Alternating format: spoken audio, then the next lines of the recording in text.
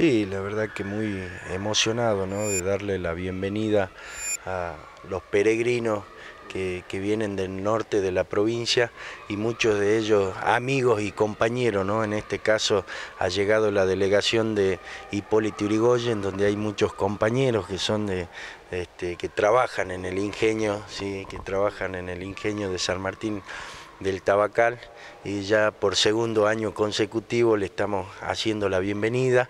Mañana están llegando, eh, que sería este miércoles, sería el día, miércoles, este, por la noche está llegando la otra delegación también de Orán, ¿no? y el poder brindarle este, las instalaciones de, nuestro complejo, el poder brindarles todas las comodidades que hoy tenemos para tan largo camino, para tan largo camino este, desde allá, ¿no? de donde ellos vienen hacia la catedral, la verdad que, que una alegría, una alegría enorme. Bueno, imagino que también vas a, eh, vas a llegar a Salto, vas a estar colaborando en el camino como hace mucha gente. Sí, sí, vamos a estar este, colaborando aquí en el camino del desmonte, con, con, los peregrinos de aquí del departamento también, ¿no? que el día de mañana ya empiezan a salir en su mayoría para la catedral.